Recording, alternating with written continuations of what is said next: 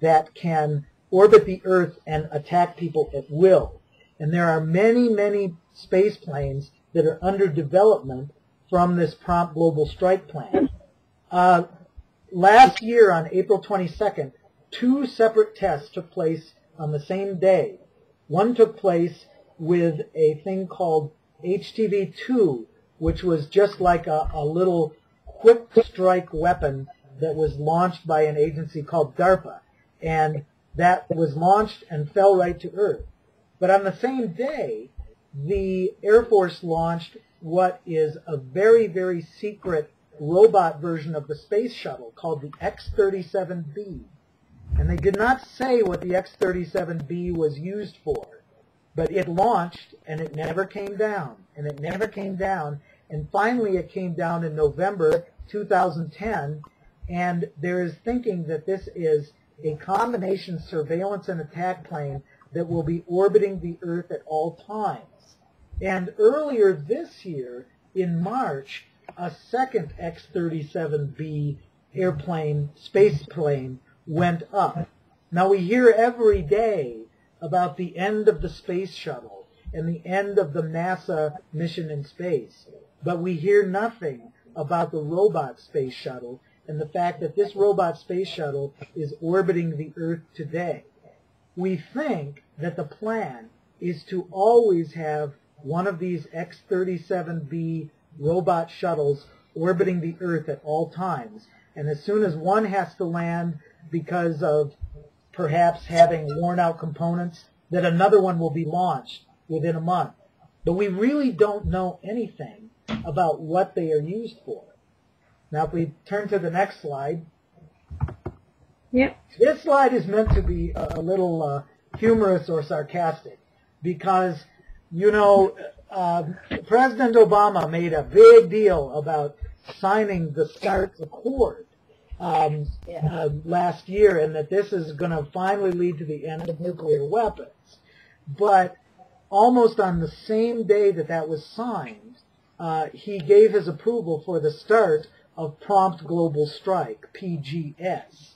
Uh, there are many in the news uh, journalism community, uh, Noah Shachtman of Wired Magazine and Rachel Maddow and other people, who believe that this was a direct deal with the military, that the military said, we will support nuclear reduction if and only if you support prompt global strike. And that appears to be what the deal is. And we can look at the next play. Yeah. But here's the problem. We talk about, you know, the end of nuclear weapons because of prompt global strike. But the strategic nuclear weapons that are still around, the land-based missiles, the submarine missiles, the cruise missiles, they now are under the control of the Global Strike Command. Global Strike Command directs both prompt global strike, which does not use nuclear missiles, and the U.S. nuclear forces. And uh, one one woman who has been very active in anti-nuclear work, Jackie Cabasso, she was watching the latest launches from Vandenberg Air Force Base a few months ago, and the general of the Global Strike Command was there. And she said, well, he didn't talk a bit about nuclear weapons for deterrence. He talked about nuclear weapons to be war-fighting elements of the global strike. And I said, Jackie, that is now what the Global Strike Command sees. It does not see all of the deterrence of all the many years of the Cold War. It sees nuclear weapons as part of global strike. And so that is the new reality we are working with. So uh, we can go to the next foil here.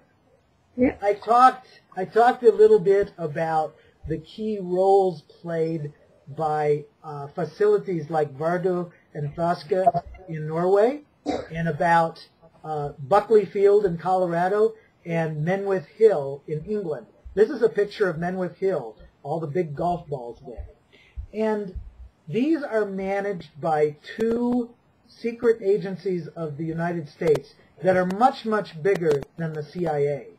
They are the National Security Agency, NSA, which listens to everything, and the National Reconnaissance Office, NRO, which launches secret satellites into space. The two of them use these facilities to allow for perfect mapping and perfect intelligence of the Earth so that missions like Prompt Global Strike can be accomplished. And we are seeing more and more uh, specialized facilities for this kind of intelligence collection arising. There is now a gargantuan building in the state of Utah in the United States called Storage Station Freedom that is storing all the information from people's phone calls and emails so that we have as perfect an image as possible of everything that is going on on the planet. And tied into all of this is the new work of the Cyber Command. And now we can go to the next foil here. I mentioned before that um, there was a joint project of Israel and the United States uh, called Stuxnet, and it was intended to deliver a very special computer bug that uh, would go straight into the Iranian uranium enrichment facilities. And this is going to be the model for how future operations of the Cyber Command are planned. They will develop very specific, specific attack tools for computers. But as was the case with Iran, with its power plants, a lot of these attack tools can go wrong. And here is one area where I am a little bit concerned about where individual people are going, and I will show you this in the next slide. So if we can go to the next slide. Now, you have maybe heard quite a bit about the computer warfare carried out by individual hackers. And some of them have names like Anonymous and LulzSec and all these groups. And some of their attacks are very interesting, like trying to go against the companies that uh, harmed WikiLeaks people. And some of them get to be kind of crazy.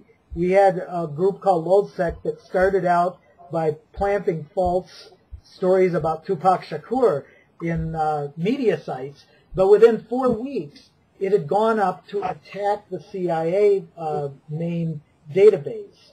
Now here is the problem I have with these individual hackers. One of the first major hackers of the internet, Robert Morris Jr., was the son of one of the major scientists at the National Security Agency, Robert Morris Sr., who just died a couple weeks ago. Robert Morris Jr. was arrested in the late 1980s uh, for letting loose a worm on the internet, and he was originally offered a deal to get out of jail by coming to work for the NSA. And this is something that goes on all the time. Hackers begin to work for the NSA, begin to work for the FBI, until we can no longer tell who is working for what. There have been stories of many attacks on the U.S. from China, but there is a feeling that many of these attacks do not come from the Chinese government.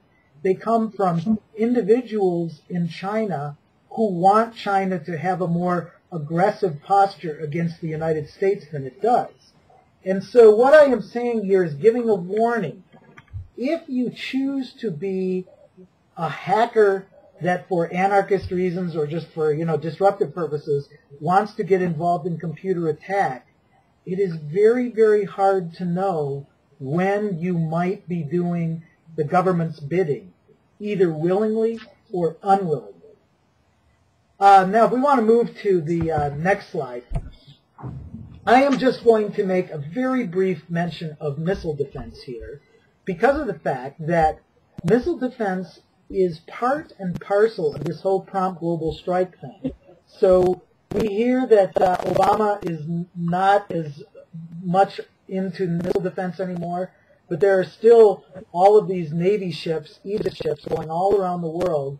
There are still facilities that go right up against the Russian border uh, in Turkey and elsewhere. And missile defense is only used partially against small missiles from nations like Iran.